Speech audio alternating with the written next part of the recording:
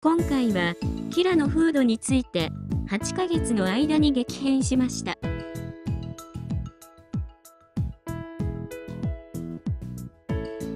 この動画は3ヶ月目ブリーダーさんからいただいたシュプレモを食べています。お皿は自宅にあったコレール小皿です。これなら食洗機で洗えて衛生的です。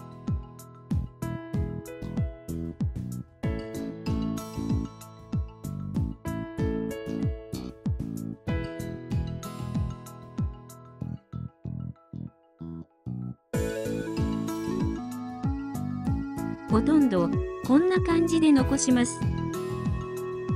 残し方がひどくなり朝残し昼食べない朝のものを夜に食べるようになってきました。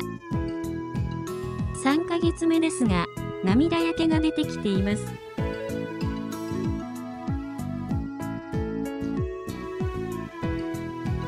5ヶ月です。涙焼けがひどくなっています。ヶ月時にいろいろなもので毎日3回涙の処理をしてきましたが一向に良くなりません。そこでフードを変えてみることにしました。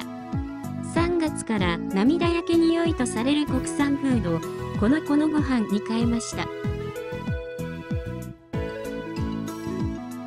動画は違うのですがこんな感じで食べていました。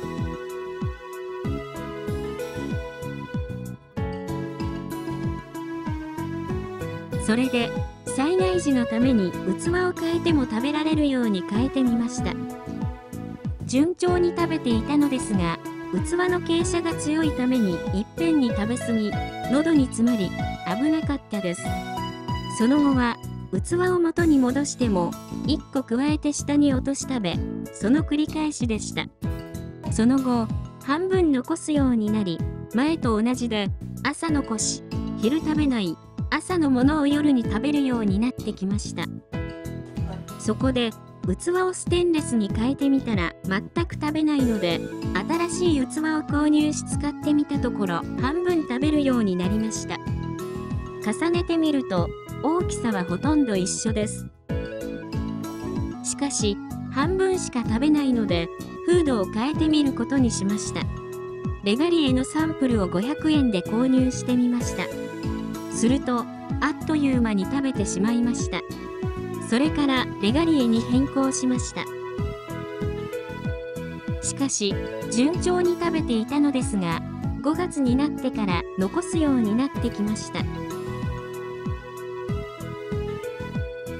仕方ないので残ったフードをおやつボールに入れてやってみました。おやつボール作戦は成功しました。しかしまたキラの食べない病が始まりました。こんなに大きくなったのだから食べないと困ります。そこでおやつボール作戦第2弾を決行しました。作戦とはフードを全部おやつボールに入れるという画期的な作戦でした。作戦は成功しましたがフードを全部中に入れるには手間がかかりすぎてしまって作戦中止になりました。そこで最終兵器を購入することに決定しました。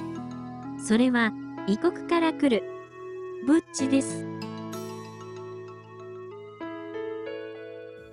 一般的なドライフードの水分含有量が10%程度なのに対して、ブッチは精肉に限りなく近い70%の水分量を誇ります。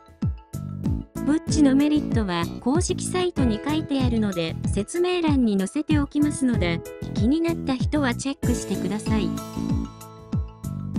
ブッチを使ってみて個人的感想です。カットして使用するので手間がかかる。保存方法が冷蔵なので大変。800g を6本キラの場合どこに入れようか？と悩む。開封後の賞味期限が短い。開封後は7から10日使い切らないといけない。使い切らない時は冷凍もできる。やはり価格が高い。レガリエが1日約138円。ブッチは約180円で少し高いですね。ブッチの気がついたところはこんなところです。味も美味しいですよ。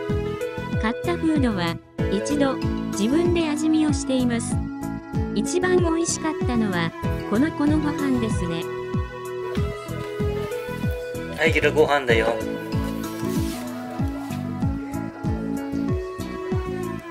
以上、キラのフード変更でした。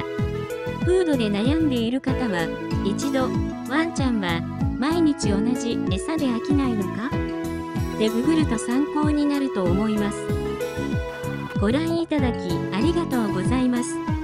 よかったらチャンネル登録、グッドボタンをお願いします。